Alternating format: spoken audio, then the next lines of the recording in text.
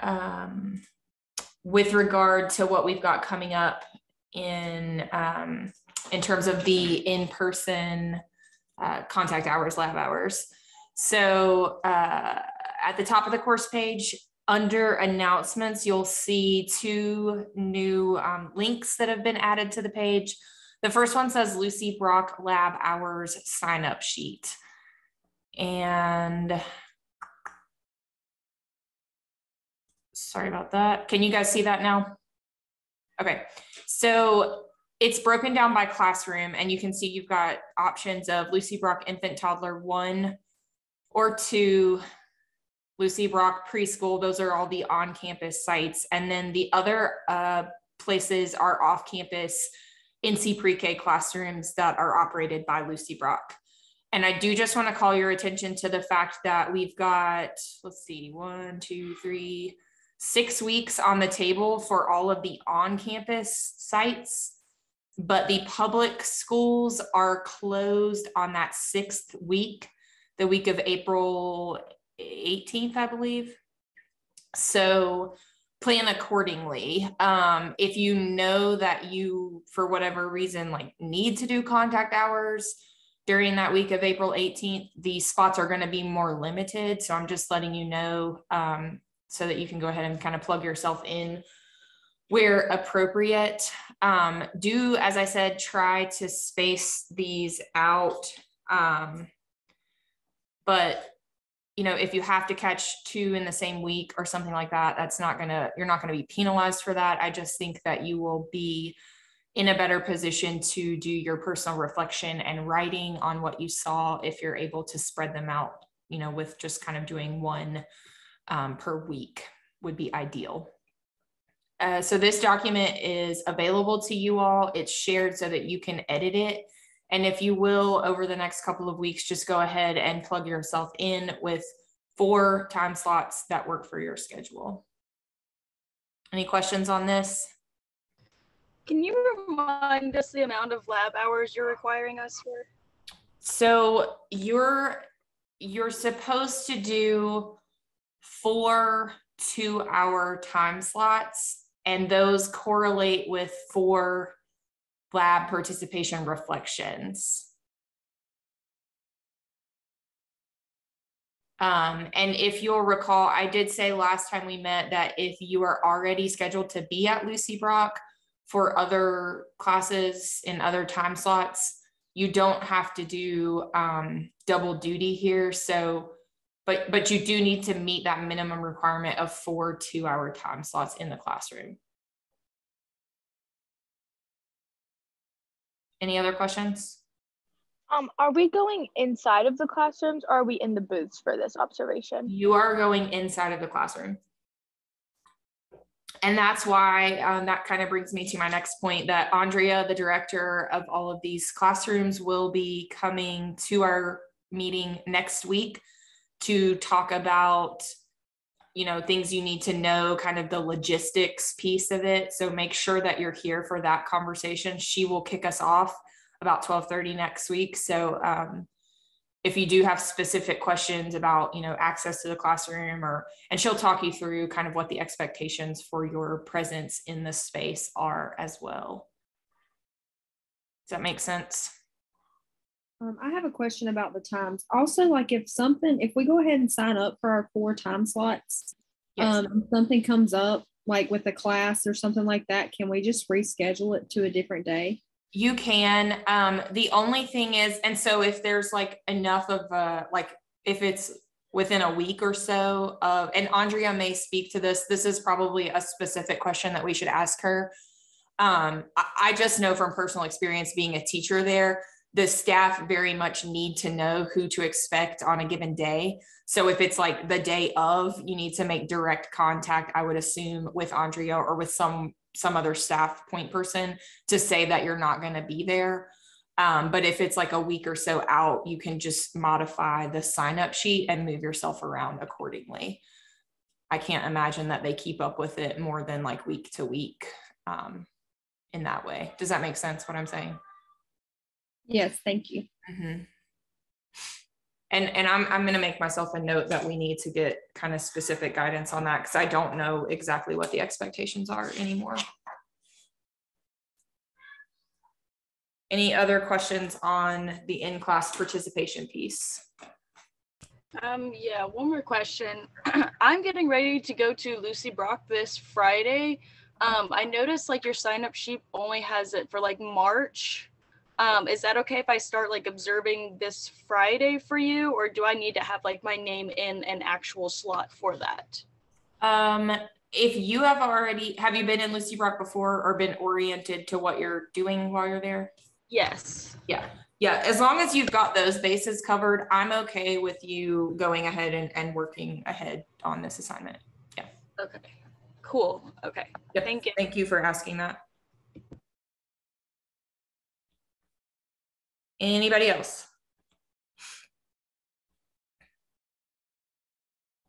Okay, so to go along with this, there's also the Lucy Brock confidentiality agreement form. Um, I'm, you guys are seeing my screen. So it's posted right here under the lab sign up sheet and it will take you to, well, if I had it open, um, it takes you to a live like Google Doc share form that you can read through the expectations around confidentiality. There is an expectation that everyone signs this form if they're going to be having contact in the classrooms. It outlines what are your ethical responsibilities with regard to keeping children and families information private. Um, and then you will sign off accordingly. I do think that Andrea sort of speaks to this um, when she comes to, to talk with us, but you can go ahead and fill this out and then you'll kind of get information about it after the fact. Um, but it's pretty straightforward if you read what you're signing. And that does have to be in place before you can go into the classroom. And then if, if for some reason you missed this information last week, the assignment guidance for the lab participation reflections are posted right under what I just went over. Um, it's for assignments and you can look over those on your own time. But make sure you know kind of what you're looking for um, across the board because remember we said you may not see something one time that you see another time and so you might have to kind of shuffle those around um, according to what what you observe so be aware of what those four look like all righty. Uh, we may have more questions that kind of come up after next week, and then we'll kind of field those as we go. And before we get into today's content, I'm just going to remind everyone midterm is coming up um, Thursday. That's the asynchronous content. There is a midterm exam review sheet just to give you a little bit of guidance with regard to kind of big topics um, and things like that that you should know. If you've been to class and kept up with your reading, you will be fine. Um, but please be aware that you have a two hour time block to complete the midterm and you cannot stop and start. So you need to carve out a chunk of time for yourself Thursday. It will be open all day from 8 a.m. until midnight. So you have um, any time within that window to work on your midterm exam. And then we have one more week before spring break. Ah. Um, and it's kind of all downhill from there. You know, I feel like things start kind of snowballing and summer will be here before you know it. Has anyone put their chacos on yet this week? It's it's kind of yes, it's like chaco weather outside. My my children were running around yesterday in short sleeve dresses with no shoes on, and I was like, only in Boone do we come out of hibernation in mid February and start going barefoot because it's like 50 degrees um, but it's good. It's refreshing. Okay. I'm going to shift gears now to talking about the PowerPoint unless anyone has burning needs. Okay. We are kind of shifting our focus from, we've been talking about indirect guidance up to this point. We've talked about environments, time, energy allocation, all of those indirect guidance concepts. Um, and today we're going to focus on direct guidance. So this is at the top of the pyramid, right? After we've got those foundational pieces in place, this is the stuff that comes in when you have specific challenging behaviors or maybe a child who's just not you know um, performing the the task of the classroom routine or whatever the case may be this is where we come in and we give very clear verbal or sometimes even physical direction and guidance to get children um, to follow along with what's being expected of them. We will talk today about um, what direct guidance is specifically different types. We're going to talk about affective guidance and then break down different components and techniques related to both physical and verbal guidance.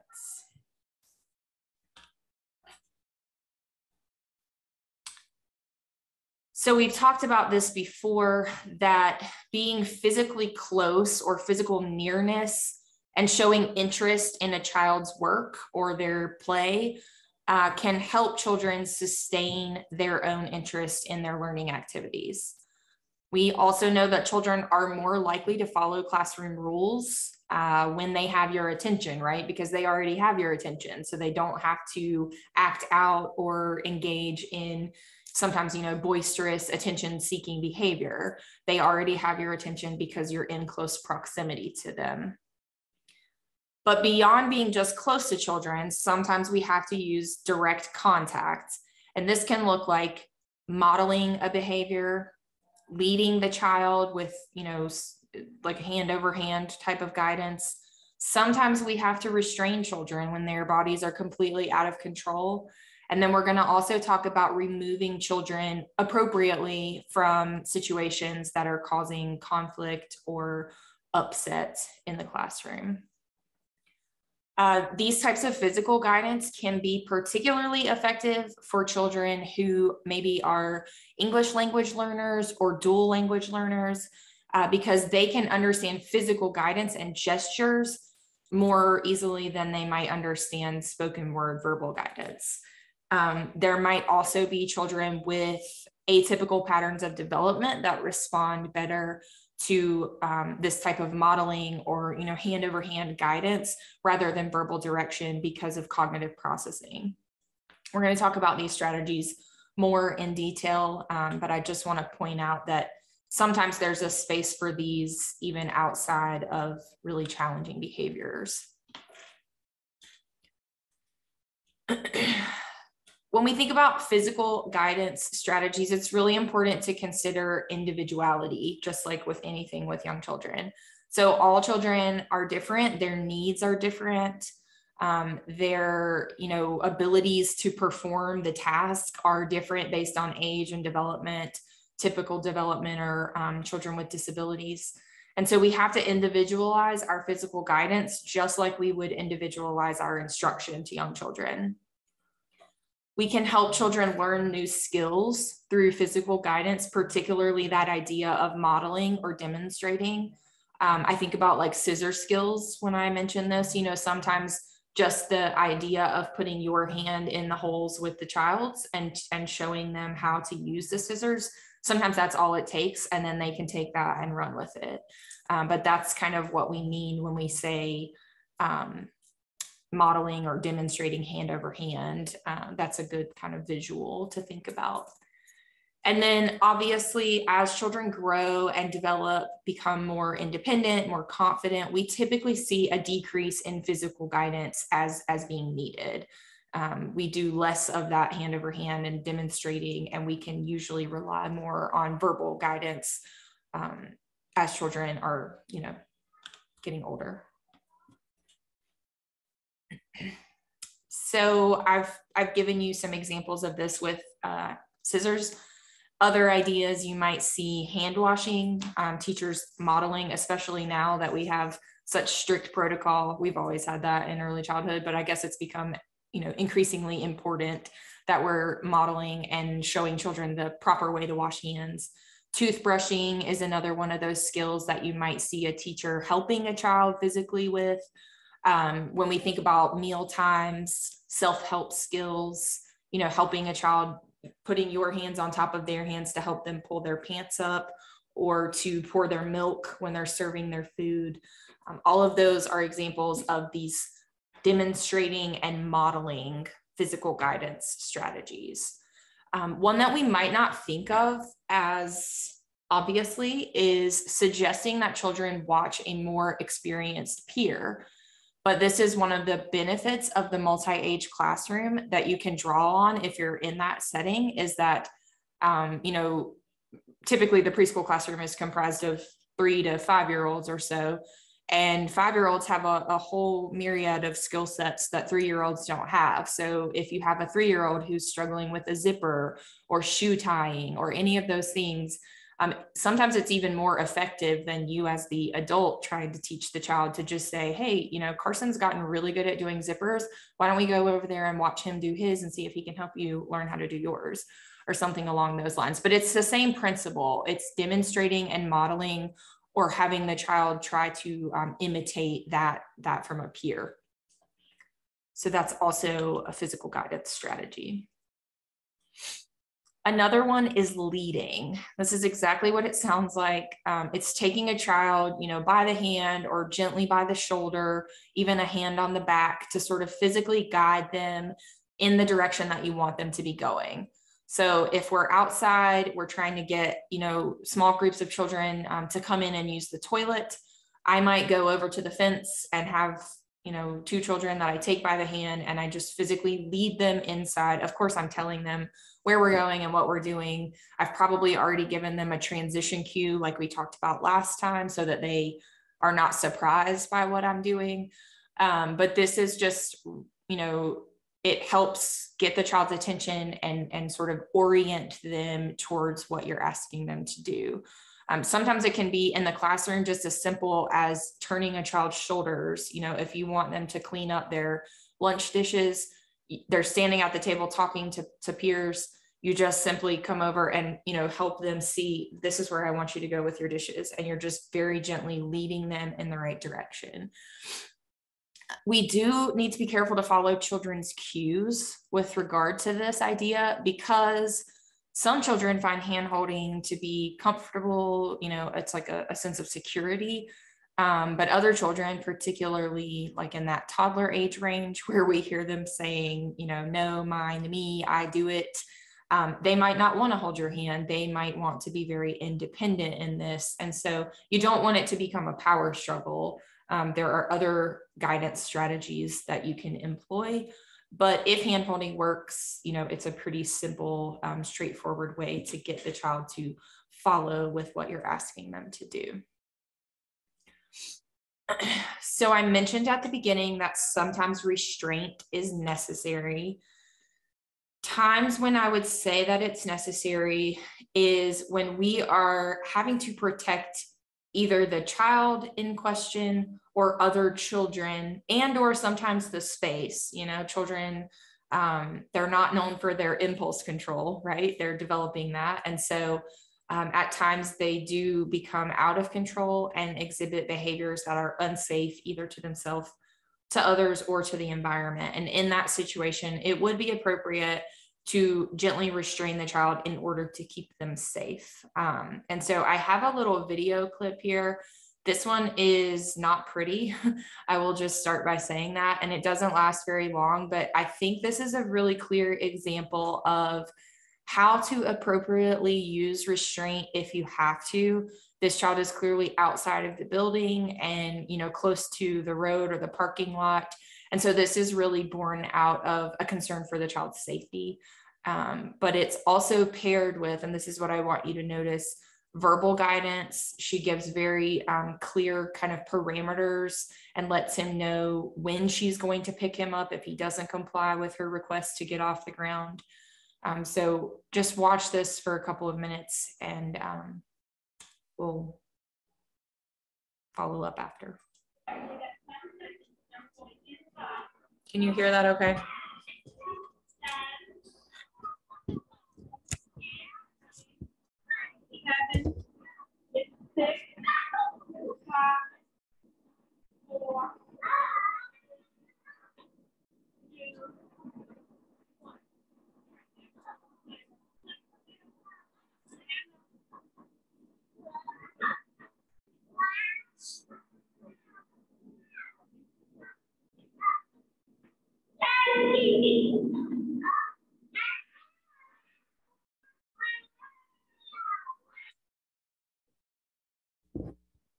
All right. Thoughts and ideas.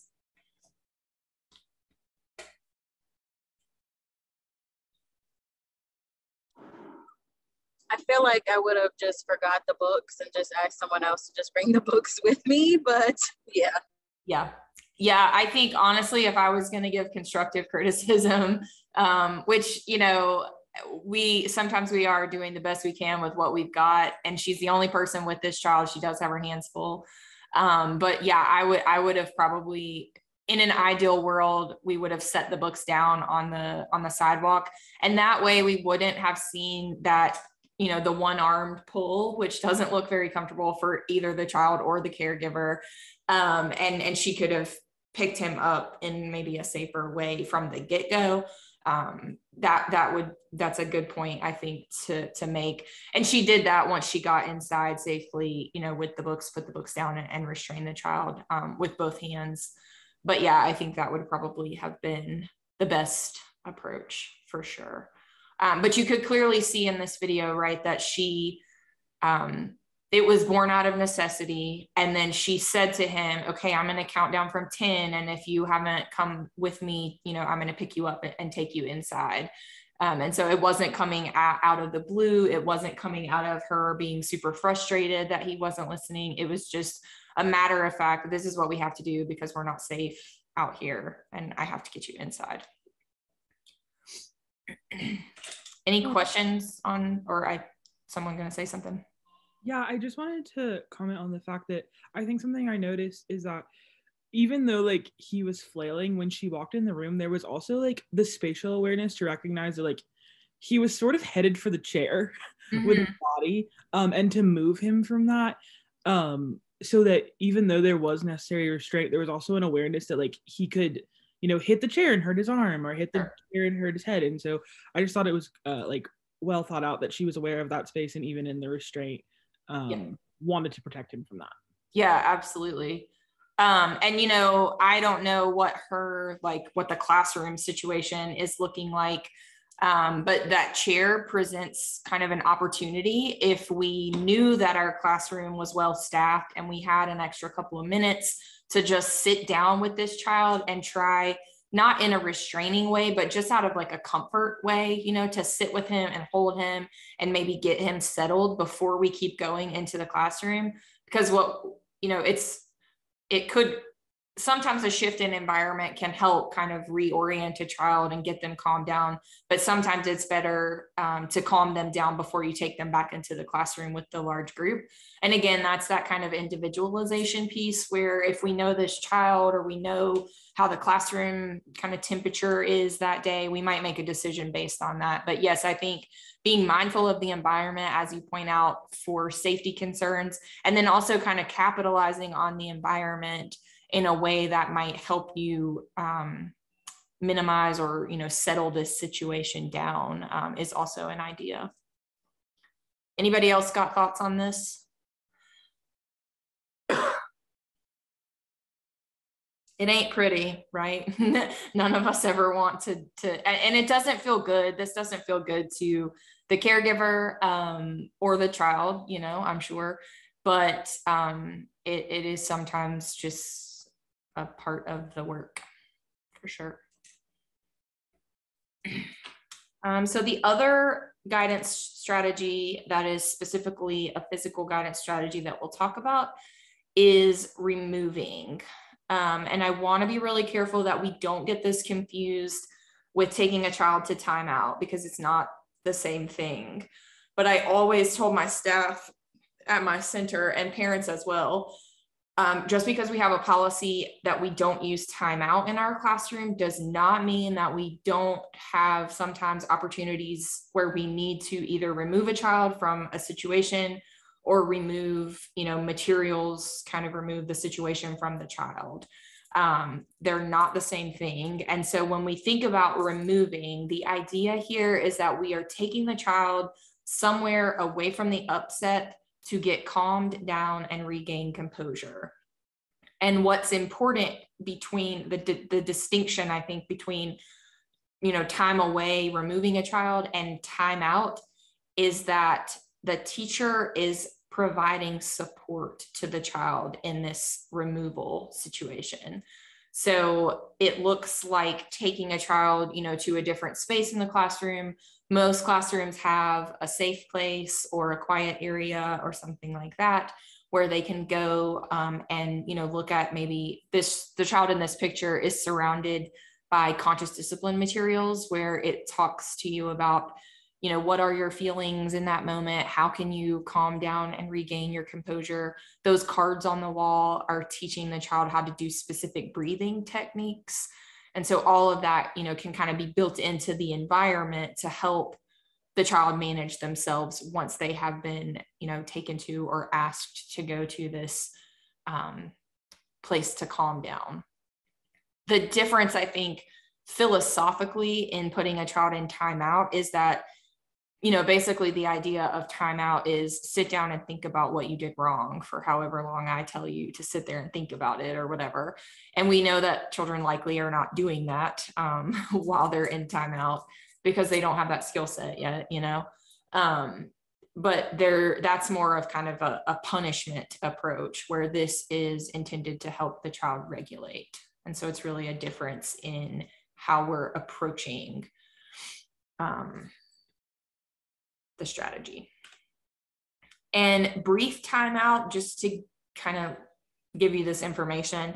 Uh, sometimes in the special education world, you will hear that terminology, brief timeout. And that is basically this idea of removing um, a toy for 10 to 30 seconds or removing a stimulus from a child and it's really about um, principles of reinforcement. And so sometimes in the special education realm with children with specific atypical patterns of development, that concept of brief timeout from materials or from a situation is used to help them learn. Um,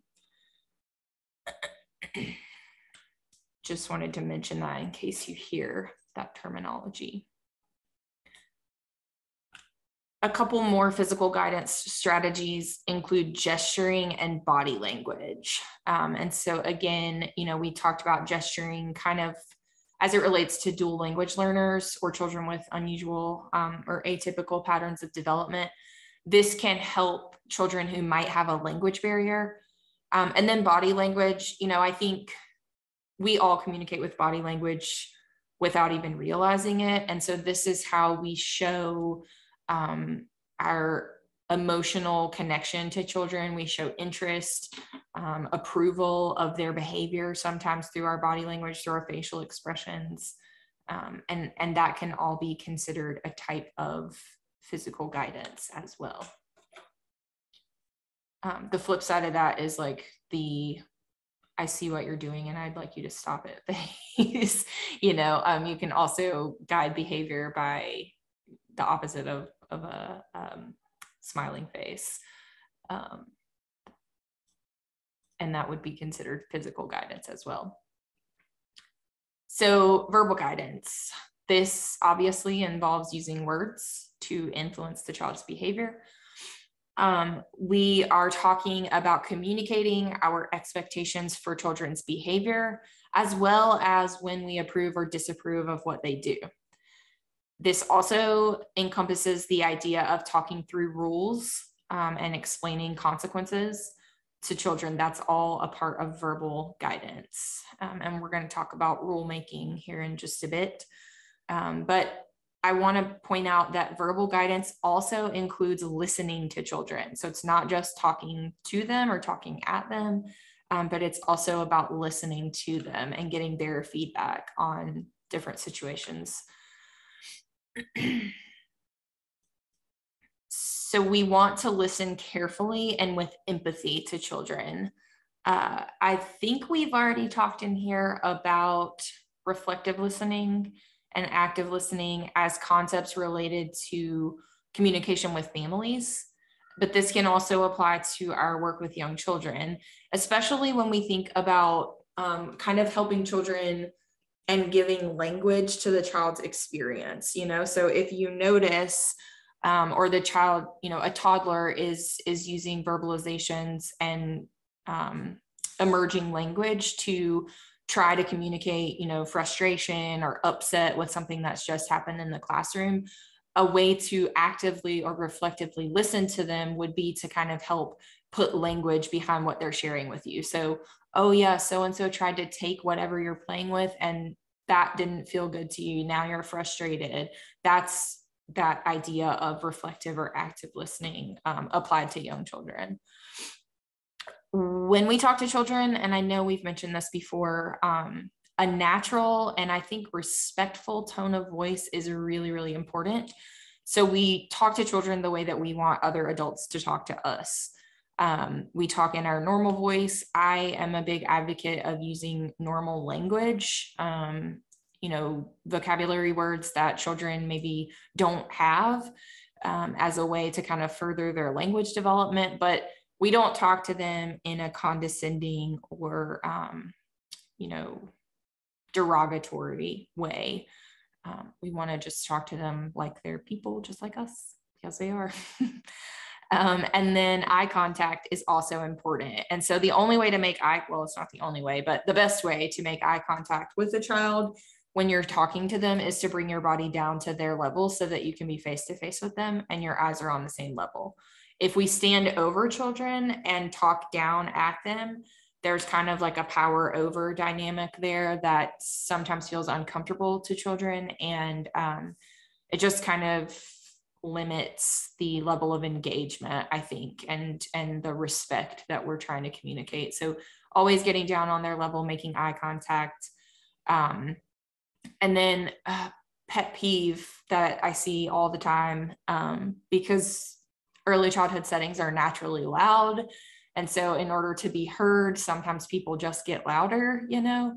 Um, and that's where I, I kind of have a policy at my center where I would say, you know, if you've said something twice and you haven't gotten the child's attention, there's a that's you've tried verbal guidance and now it's time for some physical guidance. So you have to be responsible to move yourself closer to the child um, and then that physical proximity sometimes is all you need to get their attention. And then you can say your words again. Um, but if that hasn't worked after three tries of verbal, then it's time to, like I said, you know, shift the child into the direction of what you want them to be doing, take them by the hand and lead them some other tactic, you know, because otherwise you're just kind of repeating yourself like a broken record and clearly no one's listening. Um, but yelling across the room or getting louder to get the child's attention is really ineffective, really ineffective. Um, and it just contributes to like a chaotic feel in the classroom. So, specific strategies for verbal guidance outside of listening and eye contact include speaking in really short, clear sentences. Uh, we want, you know, super direct phrases that tell the child how to be successful. Um, with the toddler, you know, in the example that I gave a few minutes ago, where someone tried to take something, you could encourage the child to say, My turn, tell them my turn, you know. Um, but that's like a two word phrase that I'm expecting the child to repeat. And they're, you don't want to say, well, you need to tell Susie that it's that you're having your turn with the ball and she can wait. I mean, there's a place for that maybe, but not when we're trying to guide a child's behavior. If we want them to be able to accomplish the task of indicating that it's their turn, it has to be short and sweet, like say my turn. um, we've talked, I think, in here already about positive directions. And so this is teaching the child what we want them to do versus what we want them to stop doing. Um, I think that our human brains are just wired in a way in which we hear directives better than we hear no, stop, and don't. We just kind of tend, and maybe it's just because of our um, exposure to those words, but children typically don't listen when you say no, stop, don't, as well as they listen when you say please do this or um, go over there and, you know. So we want to give clear, positive directions that tell them what to do. Um, and then action clauses first. So if we can think to put the verb in front or the action, that helps the child um, process more quickly what they're supposed to do. So an example would be hold my hand as we cross the street. Hold my hand. That's the directive that you want. If you go about it this way, we're about to cross the street, so I need you to hold my hand. The child is thinking like cross the street, you know, and you've kind of missed that window of hold my hand, we're about to cross the street. Um, it, it helps if you give the action first. And then um, we, we understand that children, very young children can follow one step directions. That's like a toddler expectation. And then around three, we would hope that children can follow a two step direction. Um, and as they grow through the preschool age group, we might get to multi step directions. Again, very individualized by child. But if you tell a toddler, go over to the sink, wash your hands, get a paper towel, put your paper towel in the trash, and go to the rug for group, like I'm already confused. You know, that's way too much information. So you just have to do it one, maybe two steps at a time um, in terms of giving those directions. Um, but multi step directions are for much older children. um, and then just kind of a basic note, and this sort of relates to the readings that I hope you did on praise and using praise and kind of the verbal environment. But um, competition among children in the classroom, like you know, let's see who can do this the fastest or whatever. It's not the most effective way, you know. Um, sometimes it can be a playful um, approach to to managing something, but typically um, we want to avoid motivating children with competition against one another or even against themselves, um, and we just want to give straightforward directions and expectations for behavior. Any questions on verbal guidance so far?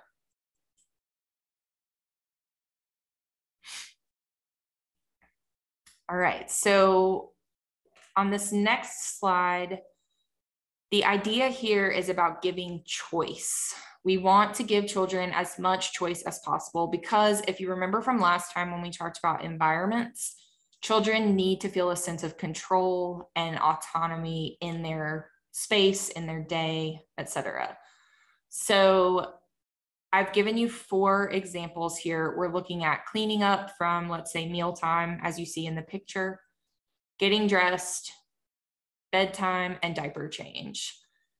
Is anyone willing to share a verbal guidance strategy related to this picture of cleaning up in the classroom where we're giving children a choice, but we're still kind of managing that cleanup transition time of day?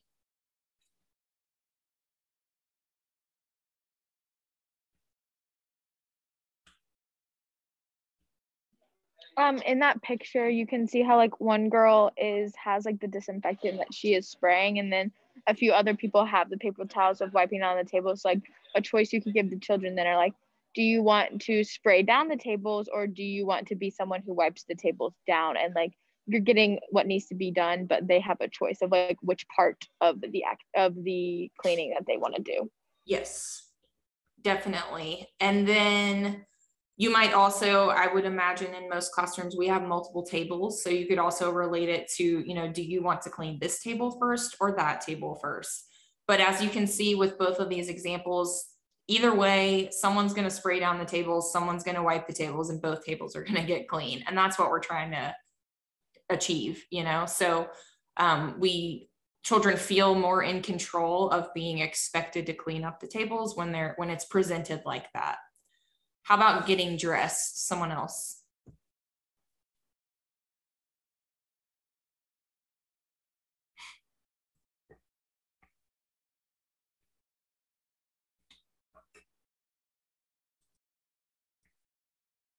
Maybe this is obvious, but just like having them choose between two shirts or something to wear.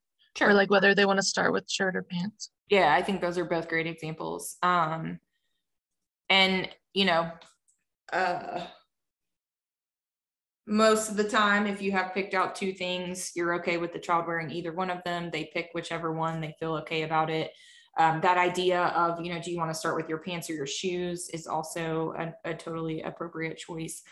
Um, bedtime, it's pretty obvious, you know, how we would build this into um, that, that bedtime routine. What about diaper change? Does anyone have ideas? Because there's a pretty straightforward diaper change process. Um, so how might you offer choice when you think about diaper change routines?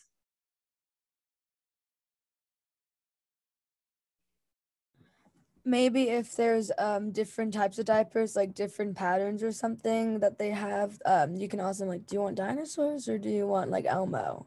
Sure. Yep. And then even like i said um you know we want to be building in that independence and ability to have self-help skills for young children but you could offer you know like do you want to pull your pants up today or am i going to be the one to pull your pants up today? Um, because that also it you know it just it puts the ball back in their court gives them that that uh, choice and sort of control over the situation um, especially if a child's having a hard time with that transition you know that's kind of a way to be playful and and still get the job done. All right this is something that you will need to know for the midterm so I want you to pay particular attention to what an I message looks like and sounds like. It's a logical and an accurate reason for why you're asking a child to do something. Okay. And it's not because I said so, despite what your dads may have told you. Um, I'm just kidding. My dad said that to me a million times. Um, everyone's dad might not have, but that is not a solid reason for why we want children to do something. So the, the reason is typically based on safety, you know, relationship to other people or environment, whatever. Um, but the I message sort of sounds like um, when you rip the pages of our books, I'm not able to read the books to the class, and not being able to read at group time makes me feel sad or bummed out, you know? Um, so I've said to the child, please don't rip your, you know, our books are for reading and handling gently. When you rip the books, here's what happens. So I describe the behavior, ripping the books. The concrete effect is then I'm not able to read the book to our class. And that makes me feel disappointed or bummed out. Um, if a child hits another child, you know, when you hit so so and so, that hurts him and it makes me worried for my friends or for your classmates or for Sam. Um, but the the the basic idea here is that you're describing the behavior, you're talking about the effect of the specific behavior that you've described, and then you've attached it to a feeling on the part of yourself or another.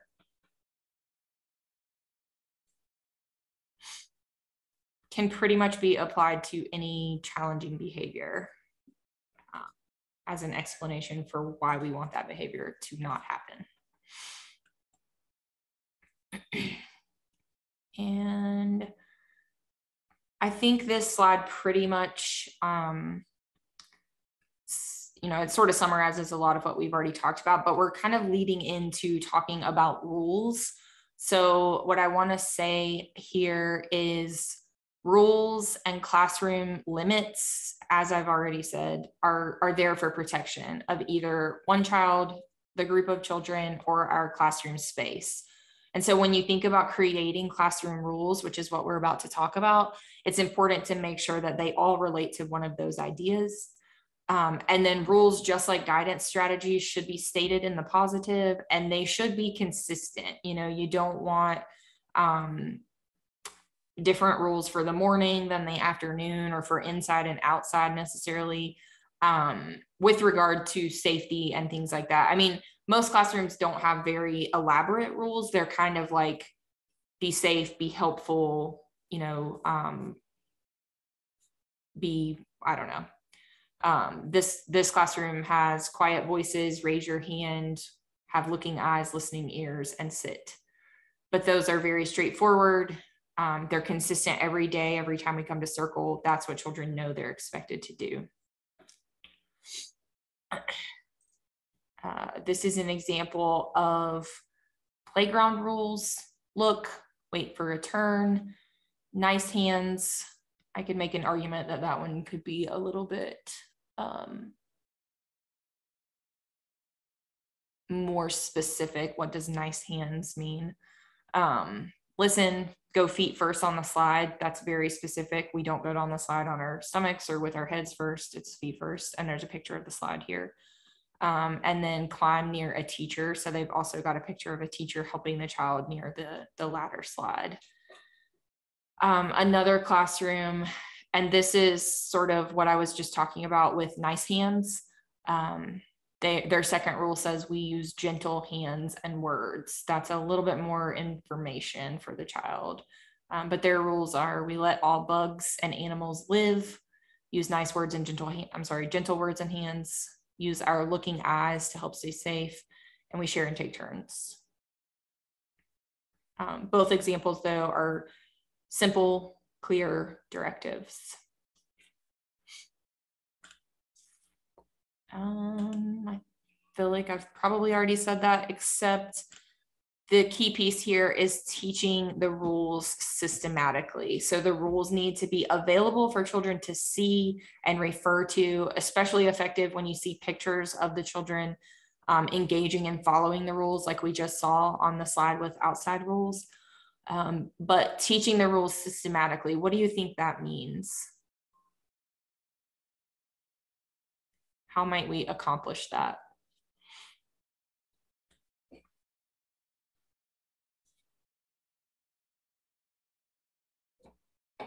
in one-on-one situations when a child is struggling with the rules we might remind them these are our classroom rules. Um, but we would also introduce these rules. We would probably draft these rules together during our morning meeting or circle time and then we would review these systematically and periodically so that everyone in our classroom is on the same page about what are the expectations of how we behave together in this space um, that's what's meant by teaching the rules systematically. And some of what we did last time with, you know, what would you teach and how would you teach it relates back to this. We would have clear expectations for how we behave at different times of the day, and then we would draw on those in, you know, different circumstances as needed.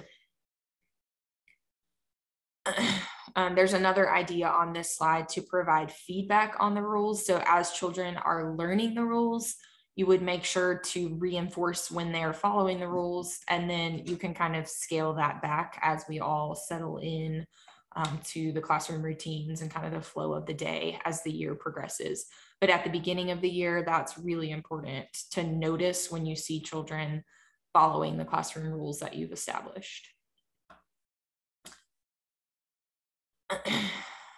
um, so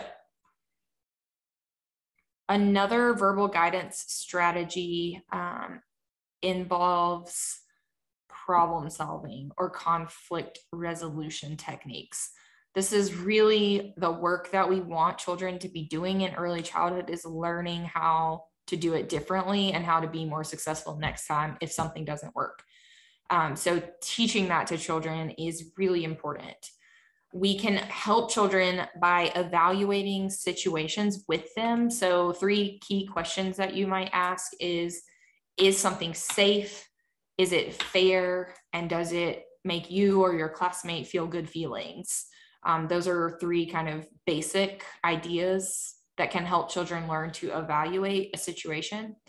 Um, and then we want to help them think through alternative solutions, you know, so um, the idea here is that if you're trying to share in blocks and taking the block that so and so was using you know creates conflict or is upsetting to that person then that solution didn't work and we need to think about another approach to getting the block that you want and so um, there are this is from the CEFL, which is like the Center for Emotional and Social I don't know what the F stands for off the top of my head. I apologize. Um, but it's an organization that is geared towards supporting social and emotional development with children. It's CES foundational learning, maybe FL. Anyway, if you Google it, you'll you'll come up with it. Um, but Cephal has developed what they call a solution kit, and these pictures are are taken from that solution kit Um, and in a lot of classrooms that I've worked in, we you might see like a little box, a little Rubbermaid box with a lid and a handle. It's often in that quiet area, thinking space where children can go to calm down. Um, but it is full of possible solutions, and those include what's listed here. So um, you might get an adult's help, ask nicely, ignore a behavior. You can play together you can ask a child to please stop, say please, trade and take turns, wait your turn, um, or share, play together. Those are all solutions that can help a child manage that interpersonal conflict related to you know sharing space and materials. Um, I have another little clip here, um, and this is a demonstration of a teacher, yes, foundation. So center on the social and emotional foundations for early learning. That's what CEFL stands for. Um, and so this video is coming from CEFL, but it shows a teacher kind of using this in action. We'll watch it really quickly. You to that you won't let you have? What solutions did you try? Well, it looks like you tried to take it from him. Was that a good solution? That's right. You tried to take it and he didn't give it to you, and it looks like you maybe got hurt a little bit. So is that a very good solution? Yeah. So what do you what do you think you should try next? Okay,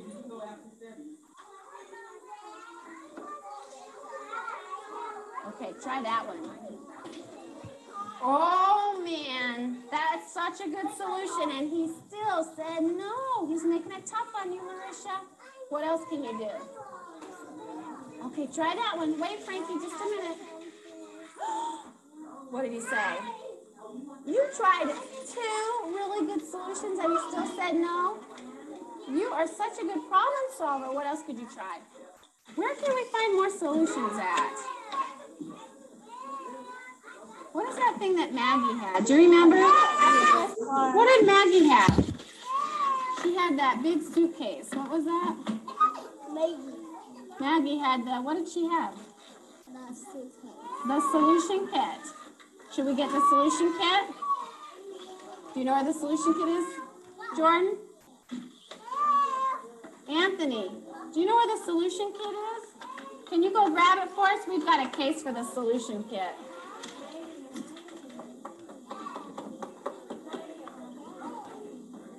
That was very helpful. All right, Larisha. Open it up. Which one? You really want to play with that car. Wait and take turns. That one you would have to be so strong, Larisha. This one says you would have to wait and wait and be so strong and wait until he was done with it. You'd have to go find something else to play with, and then when he was done, come have a turn. Now, I don't know, this one you have to be really strong for. Can you do that one? Want to see what that one is? That one says share. You sharing. Did that one work? It's a good solution, but he didn't want to share. That one says trade. So you could say, you could say, hey, Jordan, do you want to use this mask? And then I can use the car?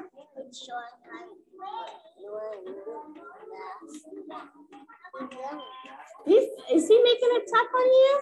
Yeah. He's making it tough on you, Larisha. Well, Larisha, this is the only one we haven't tried yet. That's right. Wait and take turns. Should we do that? All right, let's go play over here, okay? When he's ready, we'll have a turn with the car, okay? Uh, and so I I can tell you from my experience as a teacher and as an administrator that I have seen these solutions be super effective with children. Um, and sometimes just for the purpose, I mean, sometimes the reason that it works is because the teacher is engaged with the child long enough to kind of diffuse the conflict as she's talking through the possibilities of the solution. but you also, I, I hope you noticed that um, another little fellow went and got the solution kit for them. So that's an opportunity to, you know, have children sort of take on a leadership or helpful role in the classroom um, to help remind children that this is a tool we can use when we have trouble with a classmate um, to kind of navigate how to come up with alternatives. Um, so again, that's called the solution kit. And it doesn't have to be the CEFL, you know, kit or cards, but that idea of giving children uh, concrete ways to work out their problems promotes that problem solving that we're trying to get at. All right, we're uh, that's pretty much what I wanted to talk about in terms of physical and verbal guidance.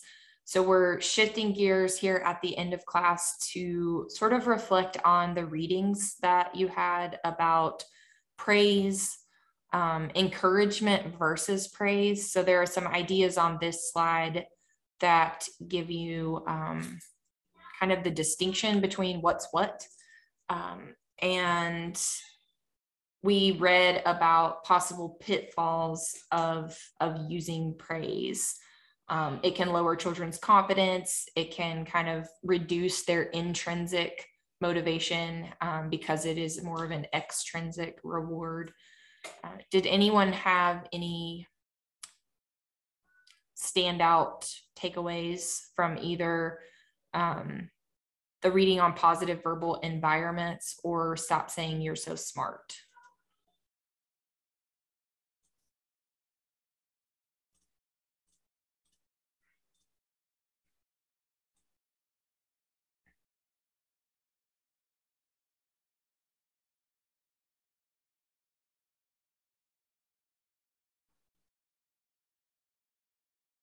I think this reading really just kind of reinforces most of what we've talked about today, um, especially speaking courteously to children, that respectful tone. Um, and then I think asking a variety of questions. Uh, specifically, you know, that's how we kind of effectively teach children you know to to think more deeply about whatever they're doing in their play. But it can also relate to like problem solving strategies like what we just talked about um, asking questions that help children kind of discover the answers on their own. And then uh, this the stop saying you're so smart article there were three points in there uh, the third one though was stop using praise altogether. What do you guys think about that?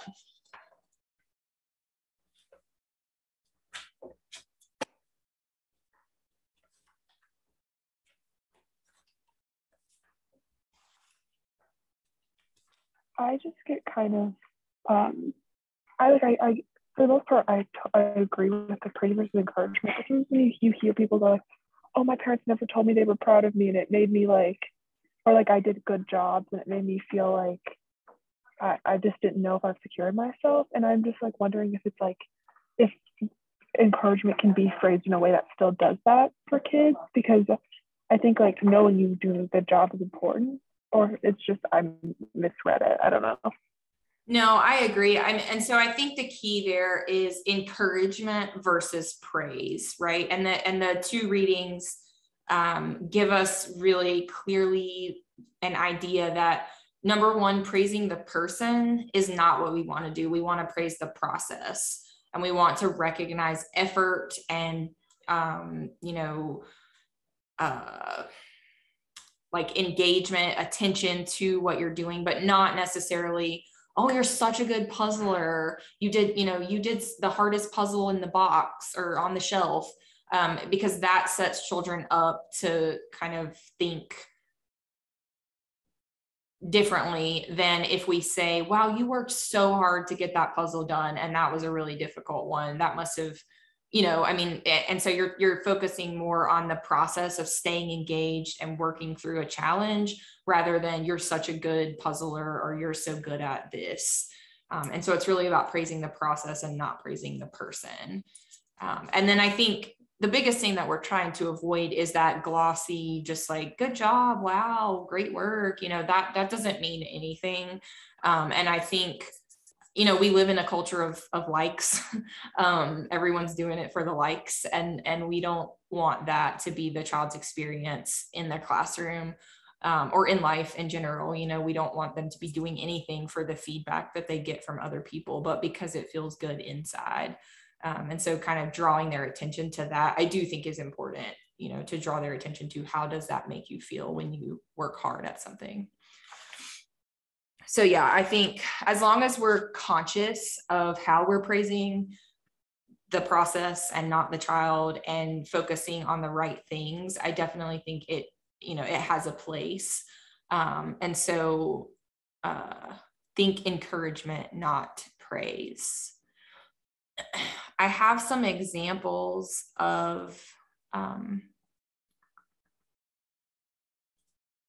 let me get back to where I want to go. I have some examples of different scenarios, and I, will give you one, and then maybe somebody would be willing to um, try their hand at. It's kind of like the reframing when we talked about thinking about children's behavior differently, but this is going to help us reframe praise into more of a, an encouragement statement. So Carmen helped set the table for lunch in the classroom praise sounds like, wow, what a good helper you are, Carmen. And encouragement sounds something more like, thank you for helping us set the table for lunch. You placed a spoon beside every bowl, so now everyone has what they need. You see the difference? You're such a good helper versus here's what you did to help us. Um, so here's one from a like a home setting. Tommy helped pick up trash that had blown into the front yard you might say, Wow, Tommy, you're the best helper in our family. That's praise, right? What's a way that you could encourage the behavior instead of praising it?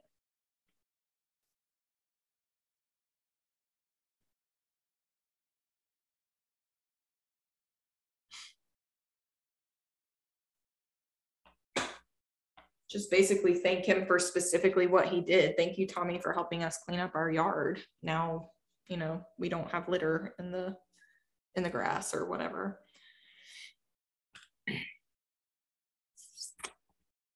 Uh, praise sounds like you two played so nicely together.